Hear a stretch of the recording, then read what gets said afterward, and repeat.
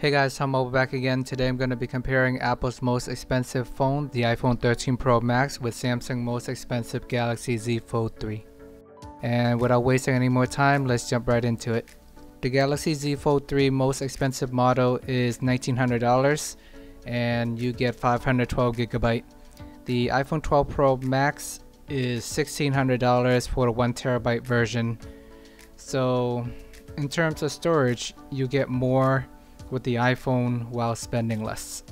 The iPhone 12 Pro Max is 6.7 inches compared to the 7.6 inches for the Galaxy Z Fold 3.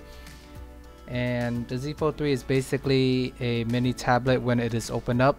The Pro Max can actually be uncomfortable to use in one hand due to the fact that it is so big. The Pro model is actually a little bit easier to handle, but if you want the absolute biggest iPhone, then get the Max. And as for the Z Fold 3, it is actually pretty easy to use with one hand when the phone is closed, due to the long and narrow display. The Pro Max weigh in at 8.47 ounces compared to the Z Fold 3 at 9.56 ounces, so the iPhone is a little lighter. The iPhone 13 Pro is 2778 by 1284 pixels, which is about 457 ppi compared to the Galaxy Z Fold 3 which is 2208 by 1768 and this is equivalent to 372 pixel per inch. Apple does have the slight edge here but most consumers wouldn't be able to tell the difference unless you ask them to look for it but just in general bigger displays tend to have less PPI. Both phones do have high refresh rates so there are no differences there. You will notice the high refresh rate when scrolling around or doing some intensive gaming. But if you are just using basic web search and Facebook, you probably wouldn't notice it as much. The screen to body ratio is 87.97% for the iPhone and 88.57% for the Z Fold 3. But we're basically splitting hairs at this point. Samsung does have a slight edge due to them having less bezels, but I don't think it's that much of a difference. If you enjoy seeing videos like these, please take a moment to like and subscribe. One of the biggest defining features on the Z Fold 3 is the ability to bring it around and use it as a tablet. You can take it out anytime to get an immersive viewing experience. The iPhone 13 Pro will give you one of the best, if not the best, camera on a smartphone. So it is a personal preference at this point I would personally lean towards a unique form factor and having a tablet in my pocket with an adequate camera versus getting a really good camera with the same old design. Both phones have the triple camera setup. The iPhone 13 Pro Max does have the new cinematic mode which allows you to change focus depending on the scenery. It can be used to record movies in the near future. Seems like a pretty cool new feature, but I would like to see how this will work in the real world. Overall, if the iPhone is an A, then the Z Fold 3 is a solid B for camera performance. But most average consumers probably wouldn't be able to tell the difference and they have their own personal preferences as well.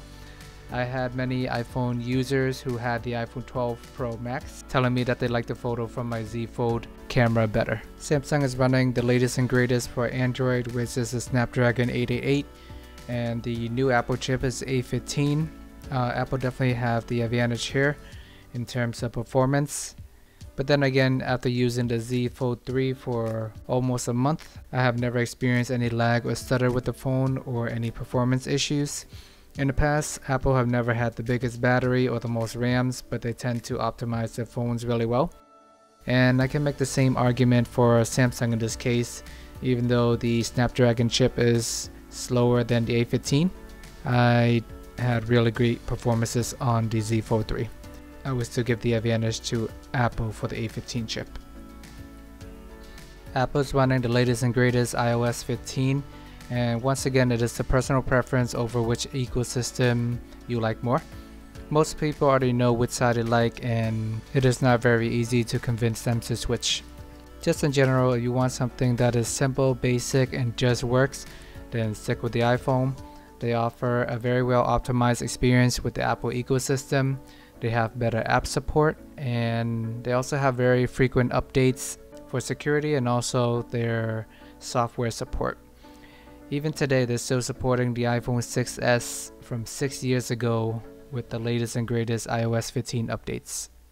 If you like the freedom to explore and customize with your phone, then Android is the better route. It usually tends to have a lot of new features first, even though it may not always be fully optimized. But Android in general is easier to multitask and they tend to have a shorter software support for their phones as well, although it is getting better over time. I know Samsung is promising three years of support for this phone, and currently they are on Android 11. Android 12 is around the corner, so it should also support 12, 13, and 14. But regardless, I personally prefer the freedom and the ability to customize my phone, but I do understand why people love the Apple ecosystem. The iPhone 13 Pro Max have 6 gigs of RAM compared to the 12 gigs of RAM on the Galaxy Z Fold 3. The edge go to uh, Samsung of course.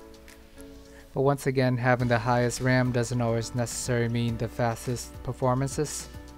Similar to having the highest megapixel doesn't necessarily mean you will always have the best photos.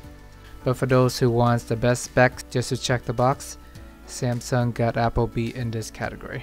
The iPhone 13 Pro Max have a 4373 mAh battery compared to the 4400 mAh battery for Samsung. The Z Fold usually lasts 8 to 9 hours for me with screen on time.